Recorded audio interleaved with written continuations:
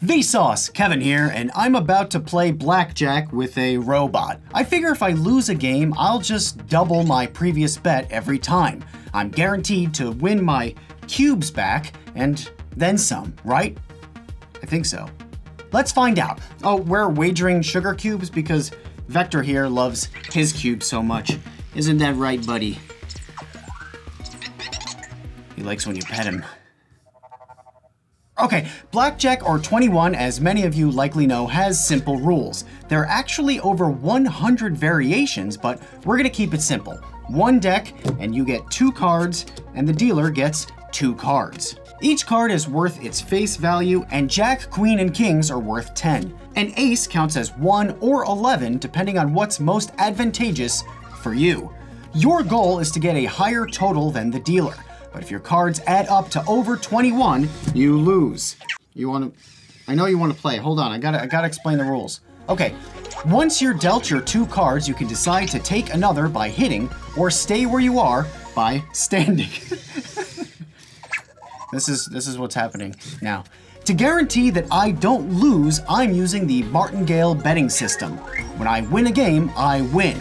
When I lose a game, I double my wager in the next game to make up for the cubes I lost in the previous one. Genius. I know. And mathematically, it's a sure thing.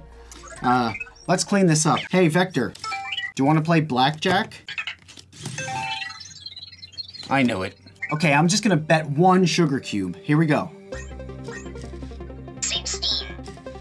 Another card. Hit me. 17. Another card. Stand. 14. 18. Dealer wins. That's okay. To get my one back, this time I'll bet two. 19. Another card. Stand. 12. 21. Very funny, Vector. That's okay. I'll get my two back by betting four. Hit me. 24. You busted. All right. I'll just bet eight. Stand. 11. 21. Dealer wins. That's okay. That's okay. I'll bet 16. Dealer wins. I'll bet 32. Dealer wins.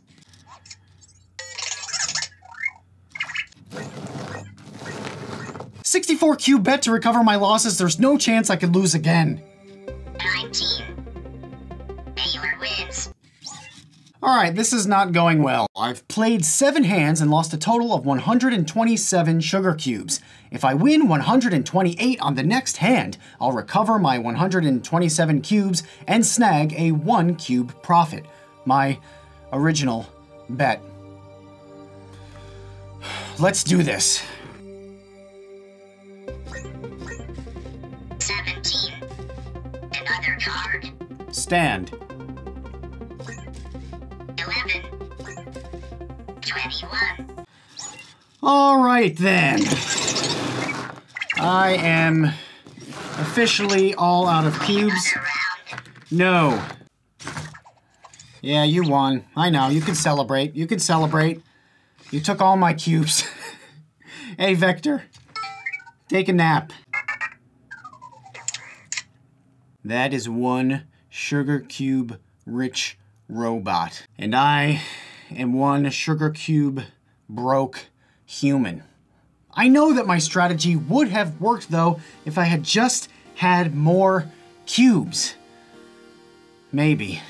The Martingale system can work in short bursts until you hit a streak that necessitates a bet so large that it completely wipes you out. In casinos, maximum bet limits prevent you from doubling as many times as you might need to recover from your losses. So there's effectively a ceiling on how many times you can martingale. And Georgia Institute of Technology math professor Ted Hill showed us that we're almost certainly underestimating the likelihood of serious losing streaks. Hill gave an assignment to his class flip a coin 200 times and record whether it's heads or tails. Heads, tails, heads, tails, like that. Or just don't bother flipping it at all and do what I did and just write down random stuff. When Hill looked at each student's results, he could tell with amazing precision whether or not they'd actually flipped the coin or just made up the results. Because the fakers routinely underestimated the likelihood of streaks. If a student's data included a streak of six or more heads or tails in a row, they almost certainly recorded real data. No streaks of six or more? Fake. In 200 coin tosses, there's a 96.5% chance of getting a streak of six heads or tails. There's an 80% chance you'll get seven in a row, and a 54% chance of eight in a row. Nine in a row would really be pushing it though, right? No. There's a 32% chance of that happening in 200 tosses.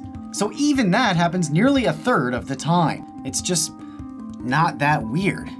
A player sitting alone at a blackjack table will probably play about 200 hands per hour, and the odds of losing a hand are close to 50%.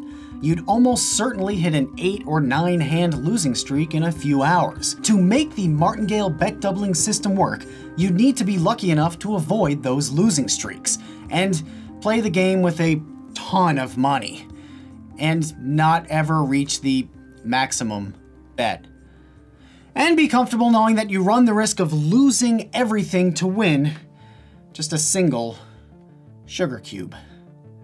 Here's the breakdown of how much you'd have to bet to absorb a common losing streak. If you start by playing a $25 hand, about the price of movie tickets for two, and you lose, your next bet would have to be 50 bucks. The bets continue to double so that if you have a 10 game losing streak, which has about a 30% chance of happening over 1,000 hands, by the 11th game you'd have to bet $25,600 just to recover your losses and walk away with a $25 profit. And that's not including the $25,575 you already lost. You need a total of $51,175, the price of a luxury car, to avoid going broke as you made a movie tickets for two profit. By using martingale bet doubling, the best case scenario is that you win your original bet. In theory, the system prevents you from losing any money, but in reality, it can cost you a fortune as you try to make up for an inevitable losing streak. All in the hopes that you win an amount equal to the first cube. And as always, thanks for watching. Why did I do that?